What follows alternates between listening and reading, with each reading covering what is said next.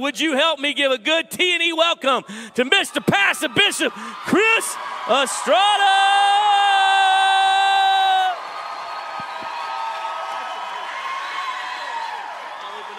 We should. I'm telling you. Wow. Oh my gosh. Man, no pressure whatsoever. What's going on, CFNI? How you doing? It's so good to be back. I uh, had a great uh, morning with our first and second year uh, students. It was incredible to be in this space, and uh, I'm just so honored. In fact, thrilled. I was telling Miss Jamie, I said I could not sleep. I was that excited. Erica and I, my wife Erica and I, were so excited that we would have the opportunity to come back. This place means so much to me.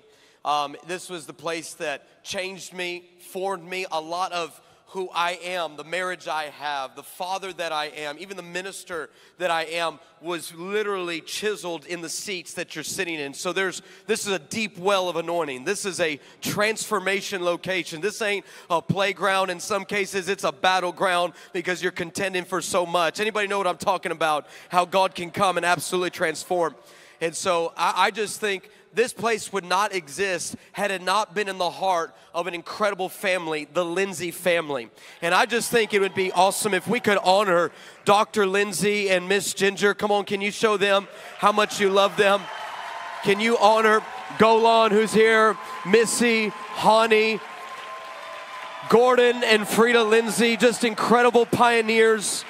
I have a tremendous respect.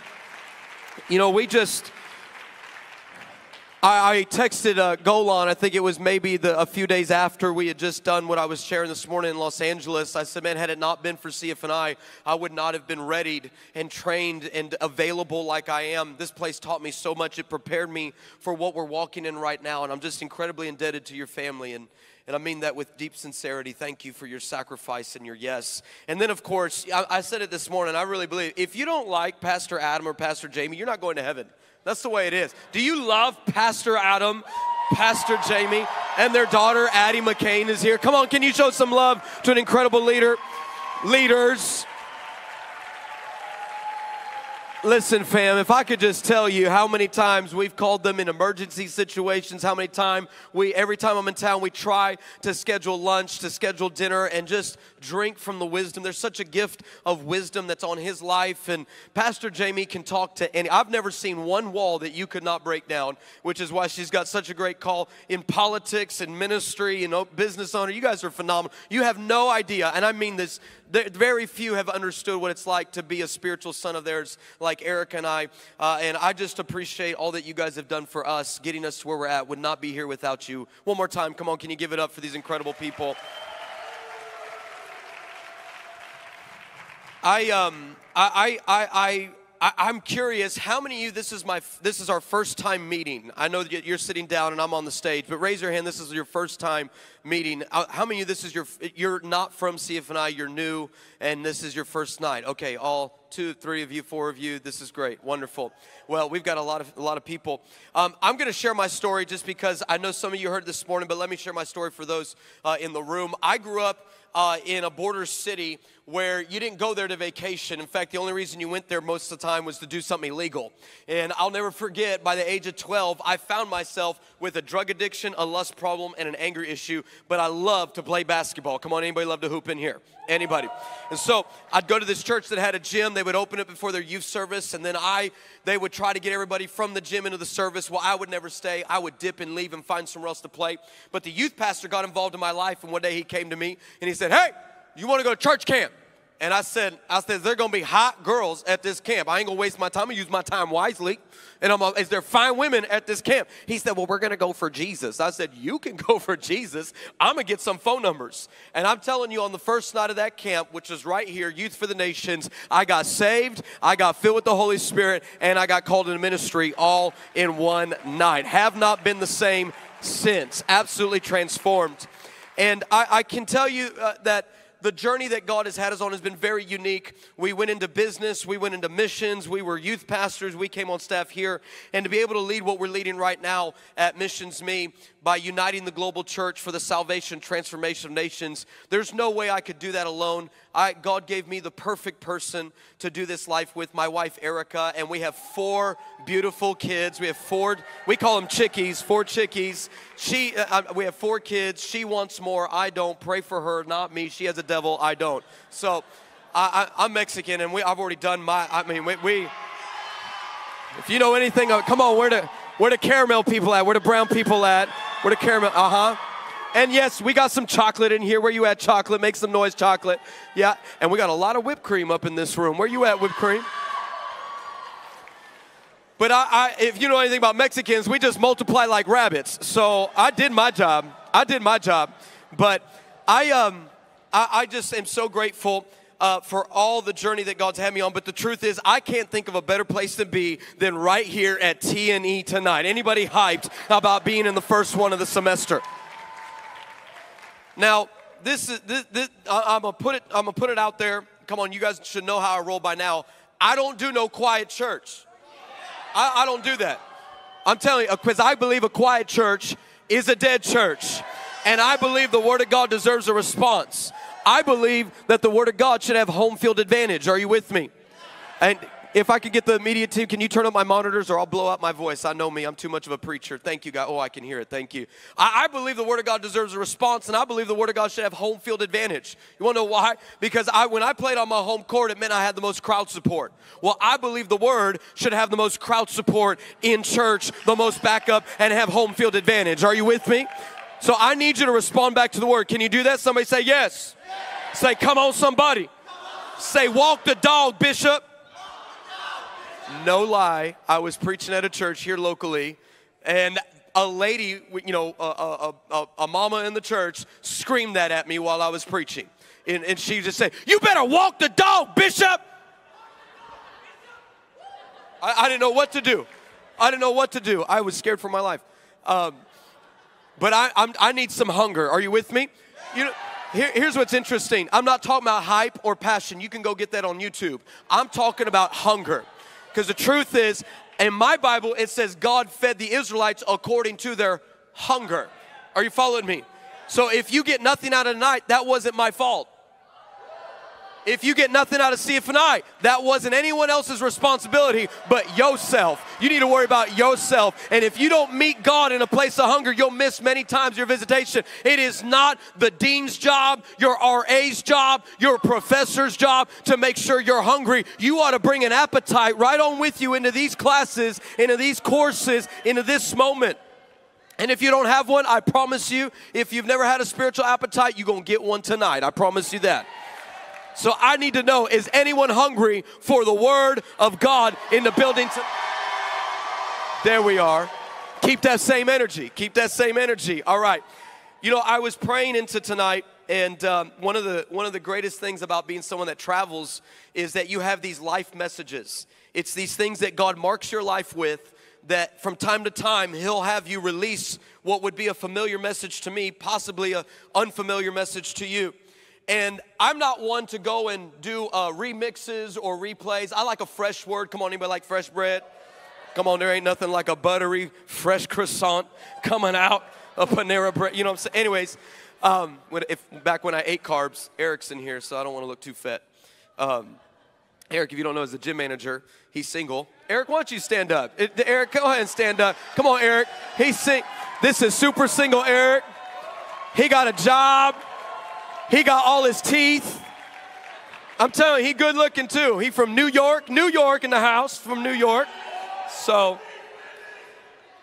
but I, I, um, I, I just really sense that tonight God wants to release something that perhaps, perhaps was birthed for such a time like right now. I, I, this message has carried so much weight around the globe, but I want to preach a familiar message to me tonight. I'm just doing it under obedience.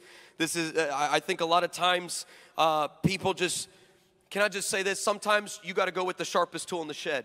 And many times, what you'll end up doing is try to go and build a tool instead of using the sharpest tool in the shed, and you'll actually dull yourself and burn yourself out when God already gave, gave you a weapon to familiarize yourself with. And this message is just burning, rumbling, stirring on the inside of me. So I want to go there. Are you going to meet me there?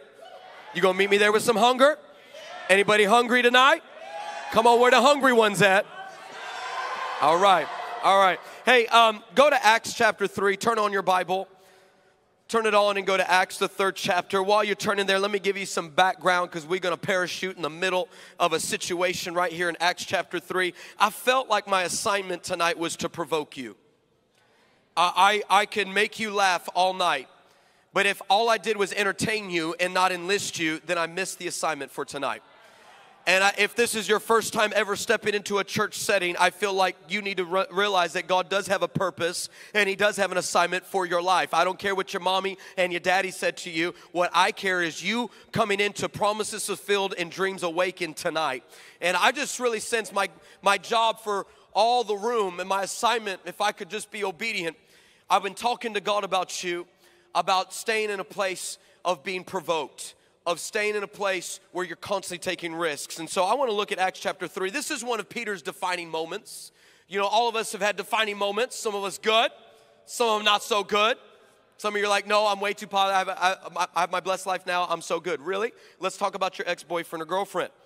Let's talk about some defining moments, some Delilahs, some Delilahs, some Jezebels, them old lust bucket. Anyways, all right. You know, Peter has just walked through three intense years of discipleship with Jesus. This is God in the flesh. And he is at a place where he has seen it all.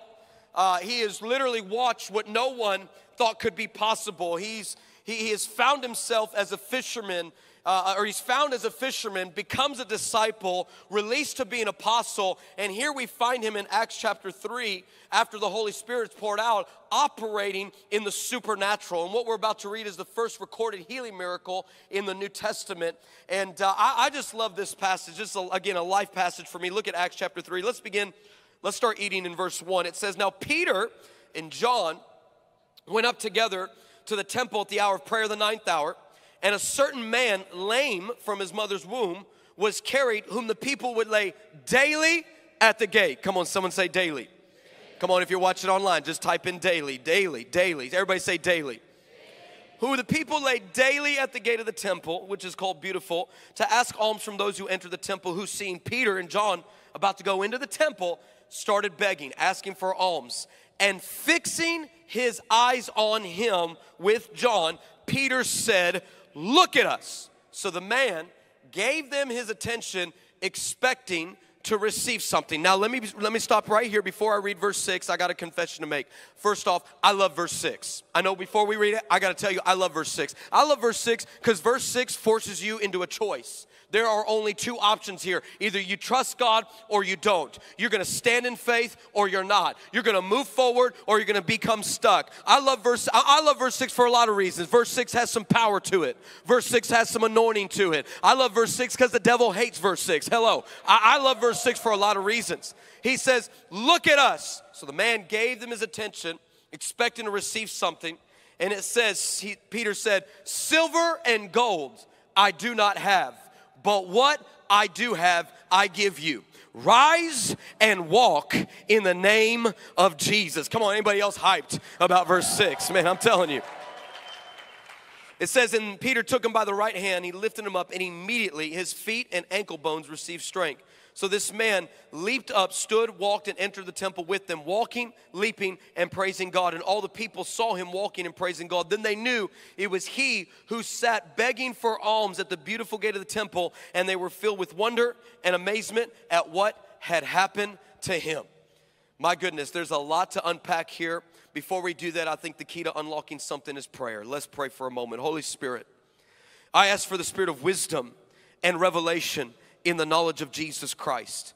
I thank you for every man and every woman in this place. In fact, I speak to this atmosphere right now and I say that you are full of faith, you are full of hope, you are full of peace, and you are full of joy. And I come against every limit, every restriction, every barrier, every lie, every demonic harassment is broken right now in Jesus' name. And I call every man and every woman into their season. I call them into their rhythm. I call them into life. I call them into healing. I call them into breakthrough. I call them into maturity. I call them into growth. That we sabotage the plans of the enemy where we're saying it is not okay in my day to not have a historic outpouring. I don't want fake fire. I don't want synthetic fire. I don't want replicated fire. I want a historic outpouring of holy fire coming on my nation, on my cities, and on my family, God, that you would touch my campus, that you would touch those who need a fresh touch of love, a fresh touch of hope, a fresh touch of peace. And Lord, we sabotage and we cancel the assignment of the enemy. All the resistance, all the opposition, we stop it now. I arrest every thought that's not from heaven. I silence every voice that's not from heaven. I come against every generational curse, every destructive pattern, every lie, every deceptive lifestyle. I break it right now in Jesus' name. And I call every man and woman into the front lines of the mighty name of Jesus. And everyone said, Amen. Amen. Amen. I feel like praying tonight. If you're taking notes, I surely hope that you are. The title of this message is called Ruined. I feel like God is ruining some people and you don't like it. I have been this person before, just like Peter, but I feel like what's happening in your life right now, whether you know Jesus or you don't know Jesus, is He is ruining you. Now, when I say ruined, I'm not talking about ruined in the natural sense. Okay, I'm talking about ruined in a spiritual sense, ruined in the place that this is a good action. This is creates value. I, you know, in the in, in the natural world, when you, something gets ruined, it means it loses value. But in the kingdom of God, it means it increases in value because you cease to look like your surroundings. In other words, you're not moved by circumstances anymore. You live by stances, not circumstances. I stand in faith. I stand in hope. I stand in peace. I'm not moved by storms. I'm not moved by struggles. I'm not moved by pain. I have been ruined. I interpret life a lot differently. I interpret elections a lot differently. I interpret ethnicities a lot differently. I interpret money a lot differently. I interpret people, whether they're influencers or they have zero influence. I've been ruined to look at them through the eyes of heaven because I don't want to be caught looking at a shepherd when I should be seeing a king and all I'm seeing is a nobody. I want to be the type of person that when I look at them, I see what heaven sees. I know what he knows. I feel what what he feels, and I'm convinced by the same things he's moving in their life. I want ruined people. I don't want normal people, average people. I don't want the same particular people that come in and out of churches and in and out of Bible colleges. No, I want people who are doing fresh things, new things, things never been seen, impossible things, because they have been ruined. There's something about being ruined. There's something about difference. There's in a world that tries to celebrate differences but really just wants you to think like them and be like them and act like them and believe like them. It's all about being the same, but they call it different. You ain't different. You're different when you don't look at that stuff anymore, when you don't talk like that anymore, you don't think like that anymore, you don't have those same desires anymore. You've sacrificed so much. You have been ruined. I remember one of my times I got ruined, and uh, really one of my defining moments uh, I, I, grew up in West Texas, and um, if you've ever been out that way, it's all desert. It's just hot desert. I mean, it's like it's, it's a different heat from here. I'm dying to here. I'm telling you. I walked in to the green room back here, and I'm like, I feel like the devil is burping on me the whole time while I'm in Dallas. And I, I remember I, am sitting there, and we went to a prayer meeting at Sea at the Pole. Anybody ever been to Sea at the Pole, right? And so I went to a prayer meeting, and and I'll never forget uh, I, I, knew I went to this one particular high school I was assigned to as a leader, and it, it was a tricky parking situation. You kind of know how to where to, you kind of had to know where to park because it, well, it was just tricky. And the only reason I know that got actually got kicked out of this high school. That's a totally different story. Anyways, and so I remember I'm walking my friend back to her car, and she she she stops and goes, "Where's my car?" I said, "You park right here." She said, "I parked right here." I said, Are you sure you parked right here? She said, I parked right here. I said, You can't park here. There's a no parking sign right there. You know what she said? She said, They don't mean that. I said, Apparently they do, because your car is like no longer here.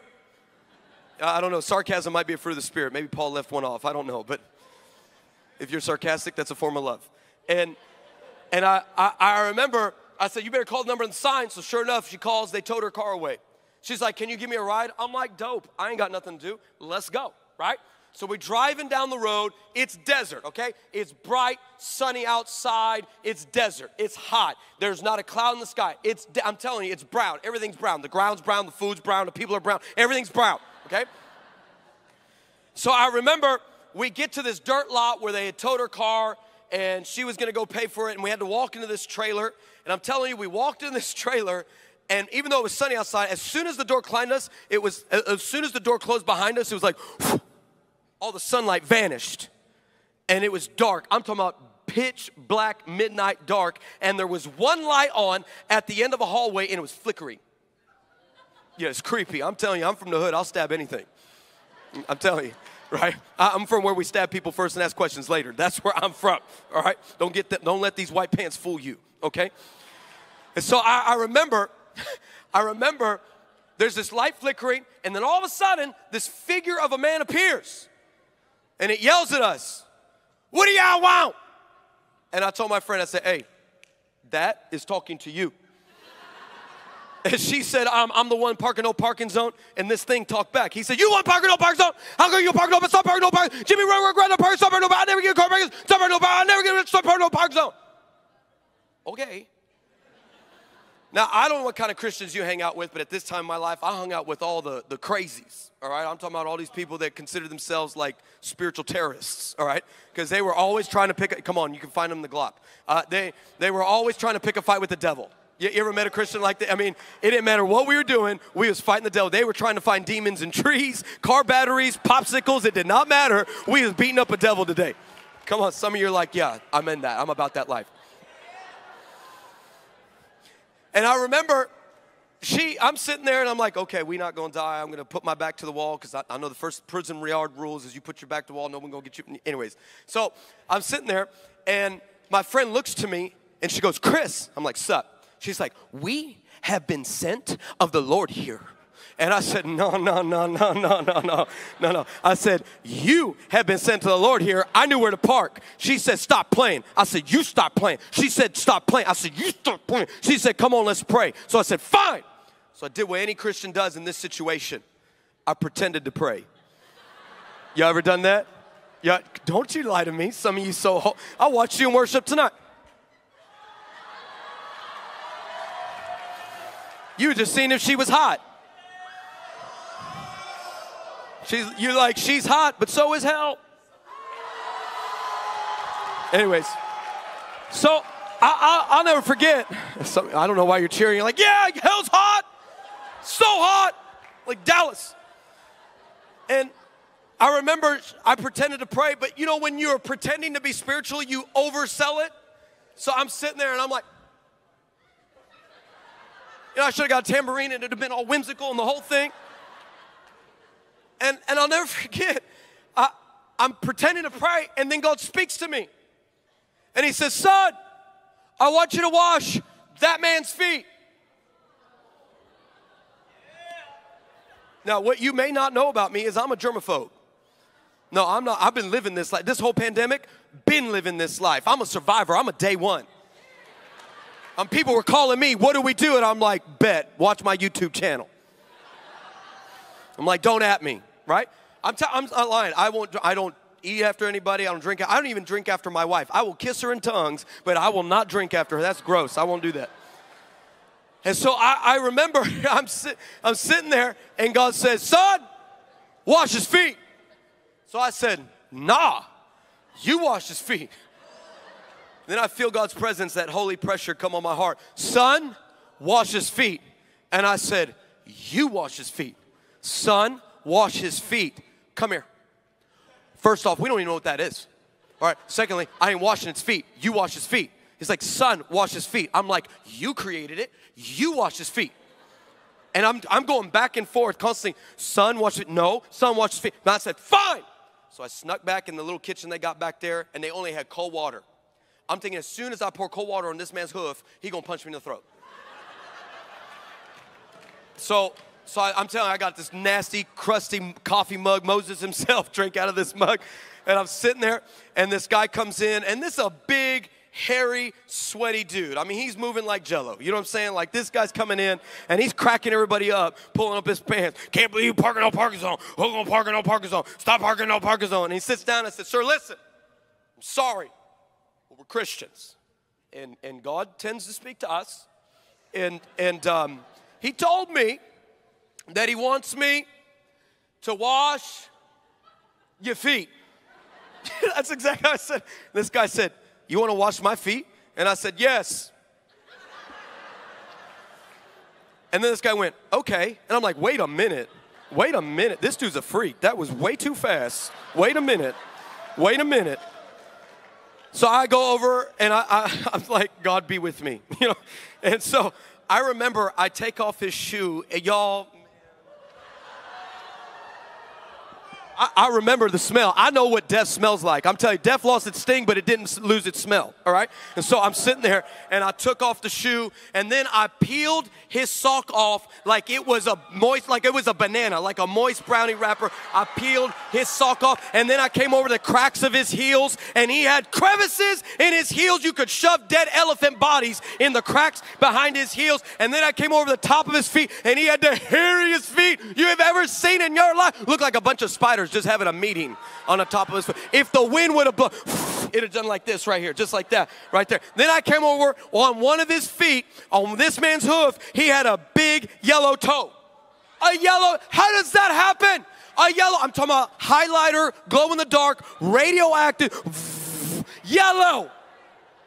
I remember looking at the feet and I'm like, I've told God, God, this is proof that you hate me. Remember, I sit there, I'm so mad. I grabbed a cold water, poured on the man's hoof, hmm. start combing his hair. I'm so stupid. Anyways, and I'm watching clear water come off this man's hoof, black gray. Like, and, I, and then I start washing, and I can feel the dirt and the buildup and the grime and the little. I can feel it. I know. Yeah, exactly. And this is this is how I started my prayer. Let me tell you my prayer of faith. I said, Lord, these feet have seen some rough years. That's how I started it. That's, that's how I started the prayer. Lord, these feet have seen some rough years. But then something shifted on the inside of me. And I said, Lord, but I see these are years that the enemy's stolen away from him. I also see that he's married, but he's separated from his wife and he has two sons and their names are this and this. And this is a generational curse because his granddad did this, his daddy's done this, and he's repeating the same cycle. But I say that you're a good God and by the blood of Jesus, you have broken this curse off of his family. And I say that he's a good husband and he's a good father and you restore this man. I'm praying this big, hairy, sweaty dude starts to cry. and everything is jiggling. Just like this. I'm looking at my friend in the corner and she's like this. I mean, we catch eyes. I mean, I look at her, she looks at me, and I'm like, sissy. Like I'm this great man of God. That man gave his life to Jesus that day. Come on, can we thank God for that?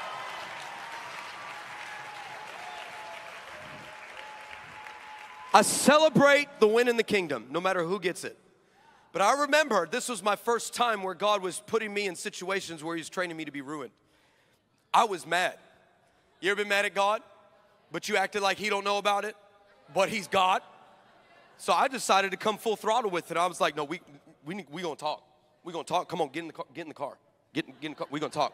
And I'm getting there, and I'm like, Lord, how am I supposed to be the same knowing you can do that?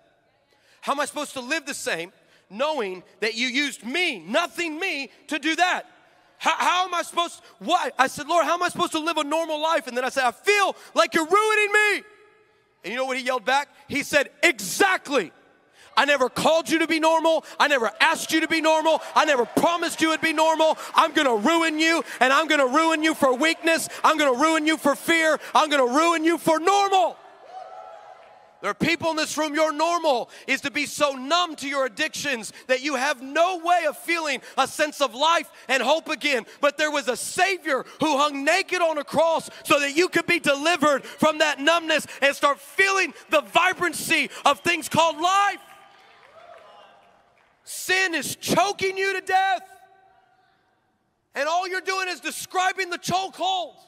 But there was a son who came as God in the flesh on the earth and he ruined the devil's plans. And he's continued to do that from the beginning of time when he told a stone to get out of his way and he resurrected on his own strength. And now we get to be the type of people that we don't need horoscopes and I don't need fortune cookies and I don't need to know what my sign is and I don't need to manifest good energy. What I need is Jesus.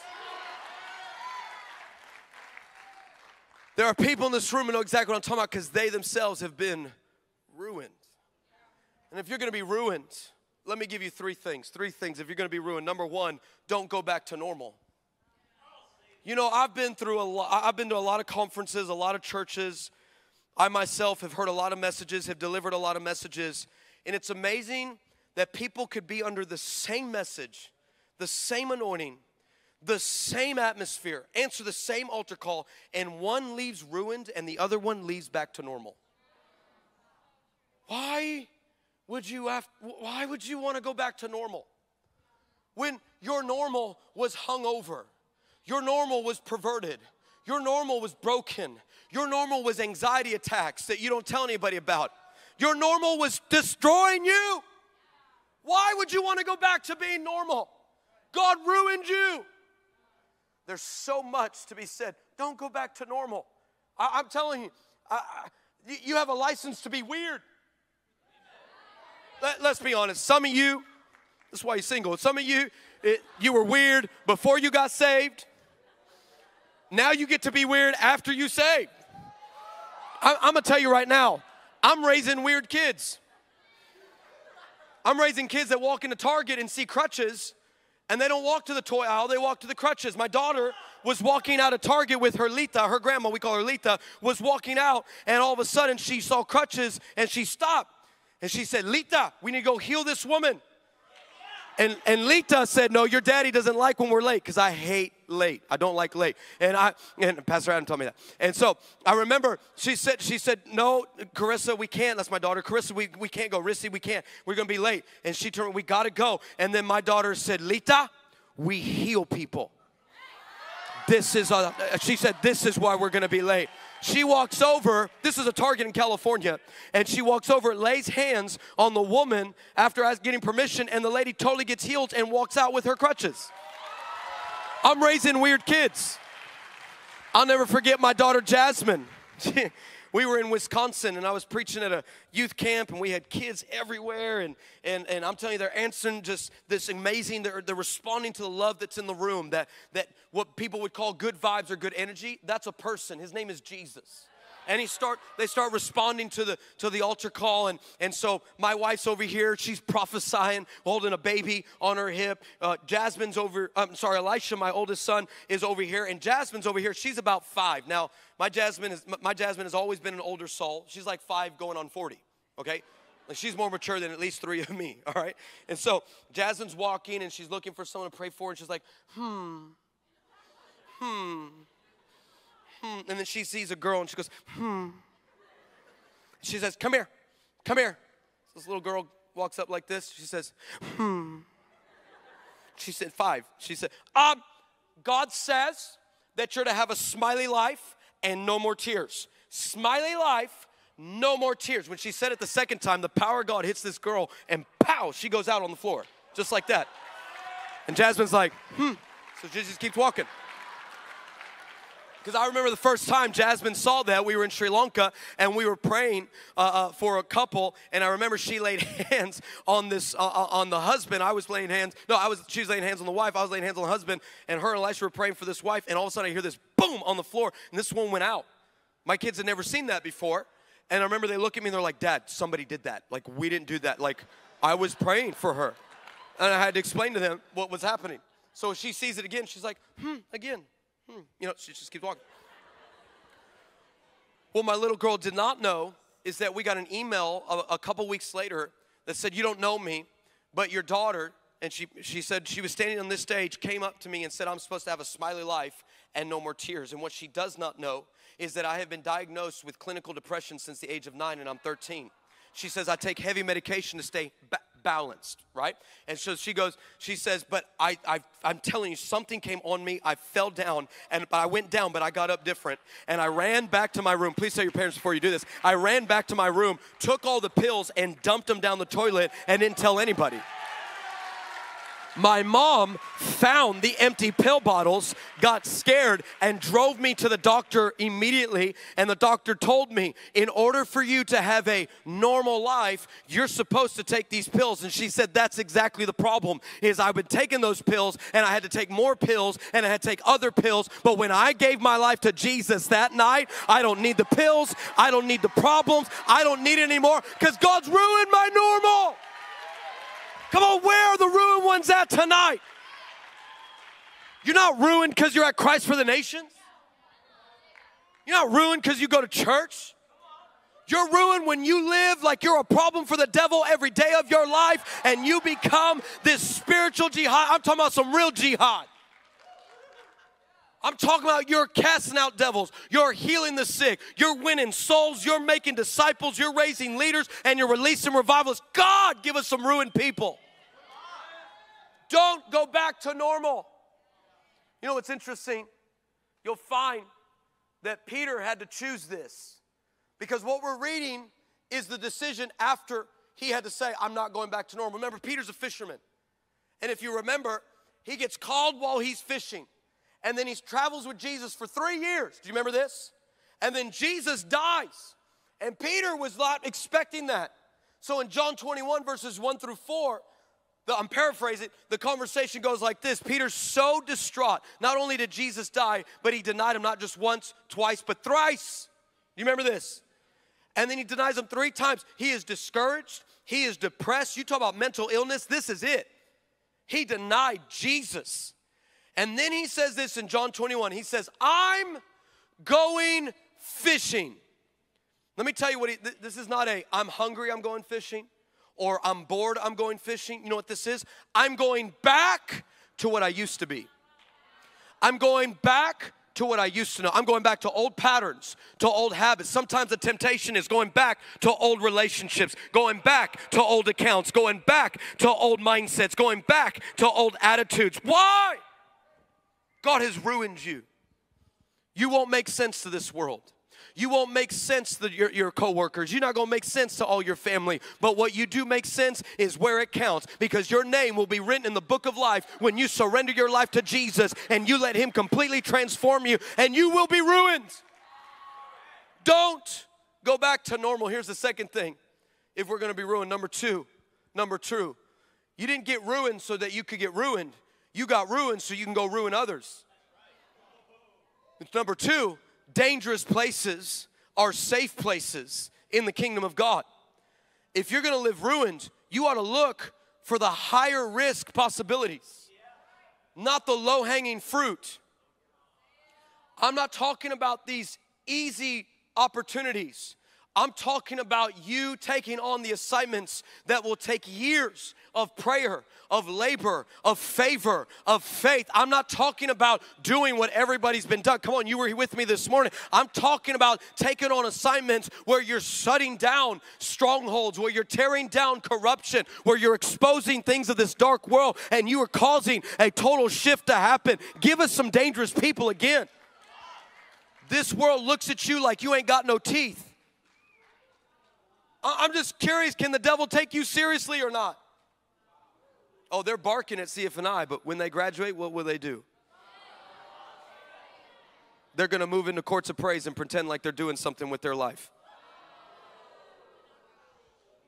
Oh, I, I did not come. I did not come for people who just want another way, another song, another. I mean, come on. You're at Christ for the nations. It's a deep well here. The truth is, but God did not bring you here so you can sing spiritual karaoke. And we got all the, I mean, we got all the lights. We got so many lights on me, I feel like a piece of chicken at Popeyes. Look at this thing. And we got the smoke with the fake Shekinah. We got it all. But the truth is, if you need all of this to encounter Him, it's not real. Ruined people know how to carry what's happening in this place, what's happening in your life, and carry it back to your dorm room, carry it back to your job, carry it back to your family, carry it back. Be dangerous. There should be lost people consuming this place. You should take it as a personal challenge at every TNE that there should be people who don't know Jesus would be packing and they have to turn on the lights in these balconies because there's more lost people in this room than there are Bible college students. Be some dangerous people again. My God, can we have a church that actually wins the lost? Dangerous people. I remember one time I had this student, her name was Jasmine. And um, Jasmine called me one morning, it was a Monday morning. She called me and uh, I was having my quiet time. I remember I answered my phone and I said, Hello? And she goes, Pastor Chris, I need to talk to you right now. I said, Well, good morning to you too, Jasmine. She said, Stop playing, sir. I need to talk to you right now. I said, Well, we on the phone. She's like, Nah, fam, I need to see you face to face. I need to talk to you right now. So I, I went and asked my wife, So you cool if I pick up Jasmine, running through Starbucks, and then uh, see what she wants? She's like, Okay. So I, I pick up Jasmine. We're in the uh, drive through. Come on, today was uh, official first day of pumpkin uh, spice lattes today. I'm not gonna lie, I had my first one today. I got the email, I was totally there. Ask Eric. Eric went with me. And so, anyways, so we're in the drive through at Starbucks. Someone got delivered over here. There's a freedom that just went out. Anyways, and I remember I, I, turned to her. I was sitting in the driver's seat, and I turned to her and I said, Jasmine, what's so important you got me out here? And she went like this Pastor Chris, you need to listen. I, I have learned something about the female species that when your finger does this right here. That's all, boom, that's all. This somehow gives your neck permission to be 30 feet longer than it just was because you went from girl to giraffe like that. That's what you did. Pow, this is like some magic button. Pastor Chris, you need to listen. You need to listen, right? I'm telling you, her neck got both sides of her head touched my car. She said, Pastor Chris, you need to listen. I don't even know what, what is this that's David and Goliath act. What are you winding up something? Like, what are you doing? She said, Pastor Chris, you need to listen. So I said, okay, tell me. She says, on Friday, I was given an assignment in my speech class. Today, I'm supposed to give a two minute speech on something important that happened in my life. I said, okay. She said, well, I was praying on Saturday. Holy Spirit spoke to me that I'm supposed to share my testimony in my speech class. I said, you gonna do that? You, you really gonna do that? Because this is a public high school. And I said, you, you, you, gonna do that? She's like, well, yeah. I'm like, are you gonna do that? She's like, yeah. I said, you better do that. You better do that. You better be a sissy and not do that. You better do it you know, uh, youth pastors, young adult pastors, we get, we, we get excited about the weirdest things, okay? When I got a student that's gonna say, I'm gonna take a public stand for Jesus in a public high school, uh, I, I hype that up a lot. So I, I, said, You better do that. You better not be a sissy. No, you better do that. And she said, well, I, I, am, but I need you to tell me how to share my testimony. I said, Girl, you better pay attention right She was chocolate. I almost grabbed her by her braids. I went, You better pay attention right now.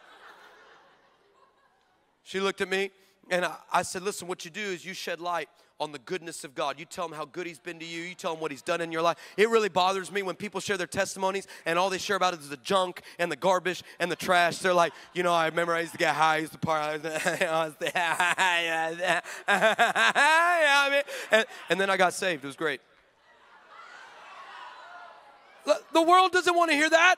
They want to hear what you were like in the world. They want to hear what you've been like since you left the world and what Jesus has done in your life.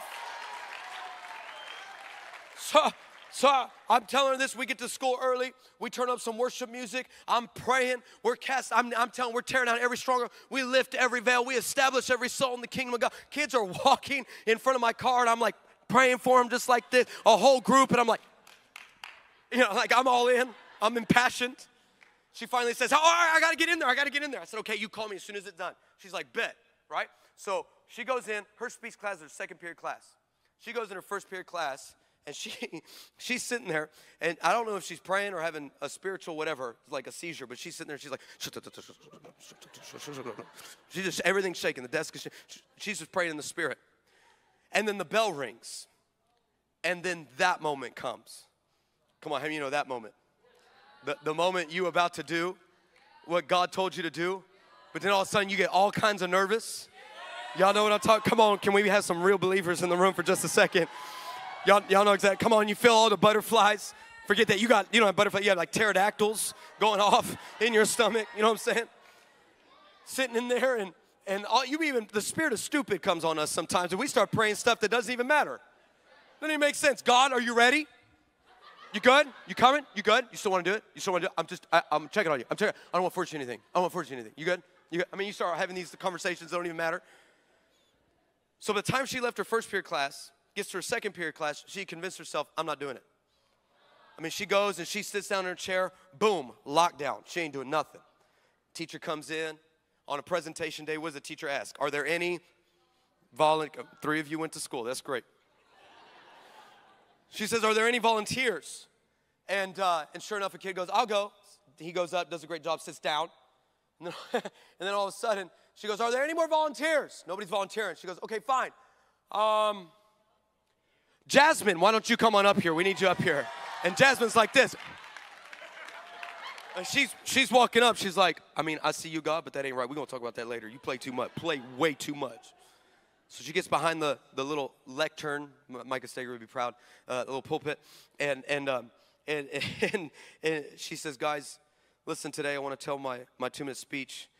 Um, the significant moment of my life is the day I gave my life to Jesus. And like all the air in this public classroom got sucked out of the room. Even the teacher was like, she says, You know, a lot of you know me. You know, I used to get in trouble all the time. You know, I used to party all the time. I used to get high all the time. She even looked at a kid in the front row. She said, Remember, we used to get high all the time. and this kid's like, Oh, um, oh, oh, I don't remember. I was high. That's the way it works.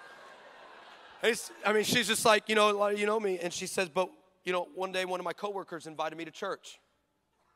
And I came in and I liked it. So I came back the next week. The people were nice. That's why you should go say hi to three people. And so then she came back the next week. She's like, I could feel God. I don't know what that is, but I know it's God. So she came back the fourth week. I'll never forget the fourth week. We had just got done, finished our pre service prayer.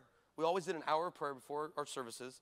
And we opened the doors. She was one of the first ones in. She took one foot inside the sanctuary and pow, went under the power of God. And she started screaming. I mean, now listen, there is a difference between the way caramel, whipped cream, and chocolate cries. I'm gonna just tell you right now. Cause, cause, where my whipped cream? Come on, whipped cream, make some noise. Where whipped cream at? Whipped cream tries to have a conversation you while they're full on weeping. Snot bubble.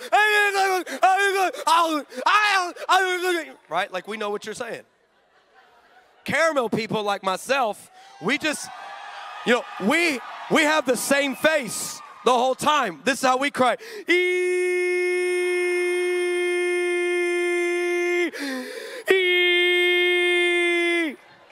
True story.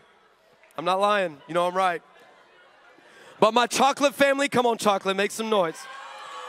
Y'all got this on lock right here. She went, Jasmine was chocolate. She went down and she was like, ah, Jesus, ah.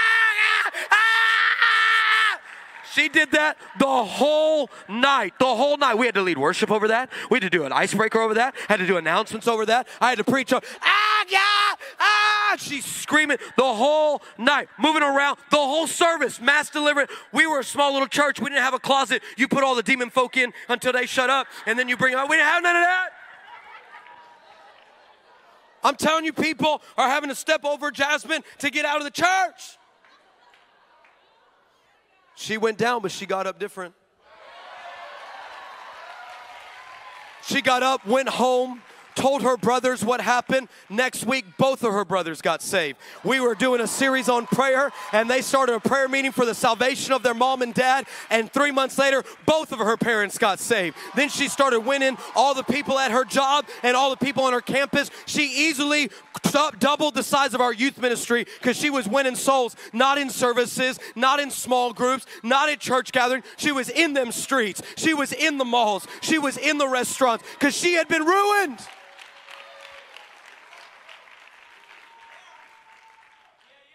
She's sharing all this in a public classroom. So we have always taught our students you don't just present the gospel, you demonstrate the gospel. Because we say it like this presentation without demonstration is an abomination. It's half the message, it's half the work. This is why we don't win the masses because we preach all the time. We've got TV channels, we got YouTube channels, we got podcasts, we got books, we got online curriculums, but where is the power? That's, that's good preaching, Pastor Chris. Because I thought we were just trying to make their coffee fresher and their donuts hotter. Some of you are like, that might be my church. I'm here to tell you if we lack power, we lack it all. And so I remember she, she is sharing her testimony. We've always trained them. You don't just present, you demonstrate. So she, she's a cheerleader on the front row.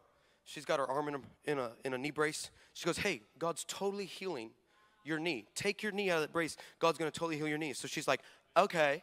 So she takes her knee out of the brace and she starts walking. Oh my God. Oh my God. Oh my God. Oh my God. Oh my God. Becky, Samantha, look at my knee. And God totally heals her knee in front of the whole class. Yeah. Then she turns to a football player in the back of the room. She says, Hey, your arm's in a sling. Take your arm out of the sling. God's gonna tell you heal your arm. He's like, Okay. So he takes his arm out of the sling and he's like, Bruh, bruh, bruh, this right, this right. He look at my, look at this right, look at my arm, look at my. God totally heals his arm in front of the whole class. Then she turns to the teacher. Yeah, go, go big or go home. You know what I'm saying? And she says, Miss So and so, you've doubted God's real since you're a little girl, but these two miracles are signs to you that Jesus is real. And she throws, Jasmine throws her arm like this. The power of God hits this teacher. She falls out of her chair on the floor and has a two minute visitation from Jesus right there in the classroom. The teacher's all out, so Jasmine swings back around and she starts giving prophetic words and words of knowledge. She starts saying, Hey, you're pregnant. This is true. You're pregnant. That's the dad. You were going to get an abortion tomorrow, but my church has a ministry that helps crisis pregnancy. God wants you to have this child. They start weeping. People start crying. Who's, she's like, Who's addicted to drugs and prescription meds? And this one kid's like, She's like, You're going to get free. Boom, the power of God hits this kid. The teacher gets up. She don't know what happened. The teacher runs out of the room. So Jasmine's like, well, if I'm gonna get arrested, I'm gonna make this look good. So she starts praying for more. I mean, it went from classroom to church, just like that. The teacher ran into the teacher's lounge and grabbed three more teachers. She's like, come here, come here, come here, you do it, come here, come here, come here, come here. She lines the teachers up and says, hey, uh, Jasmine, do, do it again. Do, do, do it again. I even asked Jasmine, I said, hey, why, why, why'd you throw your arm? She's like, I don't know, I saw you do that, Pastor Chris, and I thought there was a little extra on it. And Sheik Jasmine goes over and starts laying hands on these people, and sure enough, one by one, boom, boom, boom, all under the power of God. And she is telling them things they've only told their spouses or their parents. Now, I can hear some people's thoughts. How do I know that's real? Prove it. These people exhaust me. like nothing. You could watch Dead Rise and you're like, well, I'm not sure you quoted the right scripture. It's just people are, that's the spirit of stupid. That's, that's what that is. And people tell me, how do I know it's real? You wanna know why? Because I got the call from the assistant principal. Oh, yeah. Uh, Reverend Estrada? Yeah, what's up? He's like, um, sir, do you know Jasmine such a, yeah? Um, sir, we've seen some uh, unique events today. Do you know what a glory bomb is? Because they asked Jasmine, hey, what went on? She's like, it was a glory bomb It exploded over the classroom. Why would that happen? Because somebody knows how to be ruined. Because God touched her life and she started winning souls. Dangerous places, safe places. I'm here to tell you, you are without excuse tonight. I love those people. This might be your first time in a church setting, and you're wondering, like, where's all this energy? Like, where's all this high? Like, what? Oh my God, what? What'd you invite me to? I want to tell you, I love you enough, and I respect you enough to tell you that there is a Savior that you are in desperate need of. And while you choke on your different polarities, passions, or problems, Jesus has already offered the opportunity for you to be set free completely. I can tell you that as someone who came from a broken home, someone who came completely confused, someone who grew up, I, I should be dead, I should be a drunkard, I should be a drug dealer. I, I, I, should be abusive to my wife. I should be absent to my kid. This is a family lineage. This is my life. I should be that on that piece of carpet over there, that piece, that piece of land over there, God touched my life right here in this very room 21 years ago. And I have not been the same since. And more, the majority of my life has spent more walking with God than without. And I can tell you that I would take any day of sacrifice if it cost me to surrender everything that I thought I needed right now. I would do it all over again. You're looking at someone who's been sober 21 years. You're looking at somebody who's been completely set free from perversion 21 years. You're looking at somebody who's had people in their life helping them through their journeys and their struggles 21 years. I'm living proof. Don't, don't let these, this mic mistake you. I'm telling you, don't miss your moment tonight. There's a invitation. There's an invitation. Because the Bible says this, number three, Jesus Christ is the same yesterday, today, and forever. Meaning the, the people you read about how Jesus treated them in the Bible, he treats you the same way. You hear me talking about the way he did for me or what Jasmine or my daughter or anyone else, he'll do the same for you. He won't just do the same for you today, he'll be there for you tomorrow. Can I tell you something? Therapy is important, but therapy can't do that for you. You still have to schedule that out. But Jesus, always available. You could, you, you could put your trust in all these potions and cards. And I'm from California. People are into some unique stuff. Put all your trust in that. But why are you still in fear? Why are you still afraid? Why do you still live like something from the ground under your feet's gonna fall? I'm telling you, you're broken.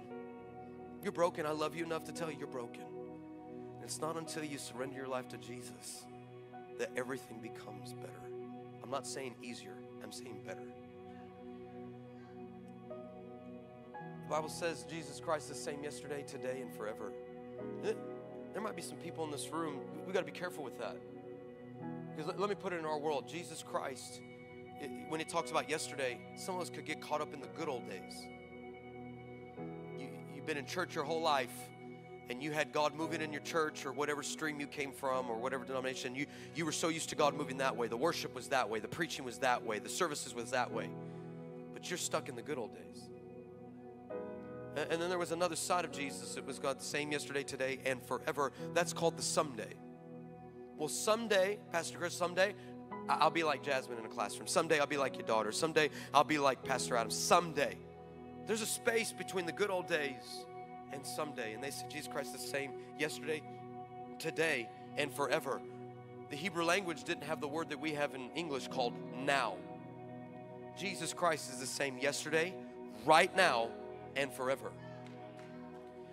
I'll never forget when I had a conversation with the late Reinhard Bonnke. He looked at me and he said, with that heavy German accent, he said, Chris, whoever you preach Jesus to be, that's who he'll be. If you preach him to be a savior, he'll save souls. If you teach him to be a deliverer, he'll free people. If you preach him to be a healer, he'll show up and heal people. Whoever you preach him to be, that's who he'll be in the moment. I'm here to tell you and preach to you that he is everything you need tonight. He is the same yesterday, today, and forever. Would you stand up with me?